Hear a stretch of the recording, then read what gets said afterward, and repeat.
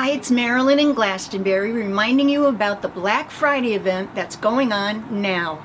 We have sewing machines, sergers, embroidery machines, long arm machines, cabinets, multi-needle machines, everything you can think of to enhance your sewing.